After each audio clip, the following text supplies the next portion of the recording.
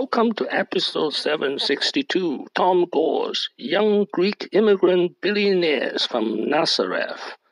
This is an outline of episode 762, lesson 1 to lesson 5. This is lesson 6 to lesson 9. Lesson 1 Refugee Immigrant. He comes from a Greek Catholic family of eight who arrived in November 1968 with just $40 and two suitcases to their names. His aunt changed his name from Tewfiq Georgious to Tom Gores. Lesson 2 Beverly Hills Brother Billionaires. This is the headquarters of Platinum Equity in Beverly Hills, California in 2020. This is a picture of the Beverly Hill Gores brothers. Alex Gore is his older brother by 12 years. He's already a multi-millionaire then.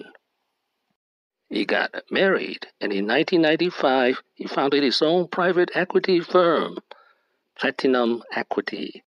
Lesson 3 A Secret Affair. Affairs with Lisa Gores, wife of his older brother, Alex Gore. After Alex Gore divorced his wife, the two brothers, Tom and Alex, seemed to get along well again. It reminded me of Ryan Giggs, the famous Manchester United player, who had an affair with his brother's wife. Lesson 4 To have an impact, do whatever it takes. This team needs and this franchise needs.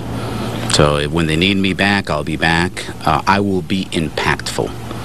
That's for sure. I, I want us to be successful. I didn't show up here to not be successful. When you say impactful, can you describe what you mean by that? Whatever it takes.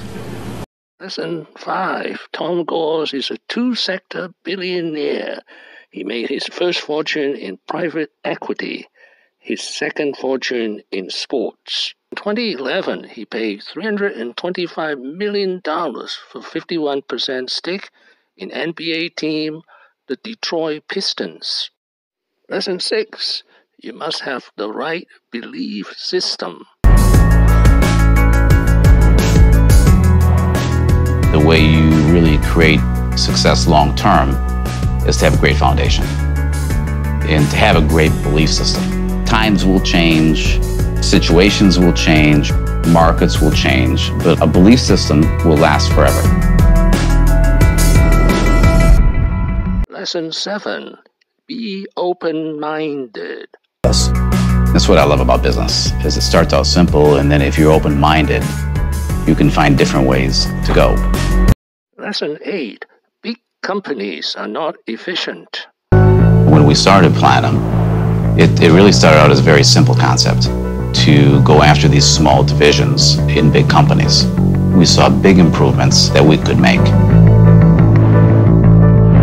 In our firm, it's a team of people that makes investment decisions. It's quite a complex machine that goes out and sources the deal. Lesson 9 Improve operational efficiency, then sell. Company. If you go to the history of our firm and you look at the core of who the founders were of this firm, uh, we were operators. We were operators of businesses. Operates the company and then sells the company. Thank you for watching. Please subscribe and leave your questions and comments below.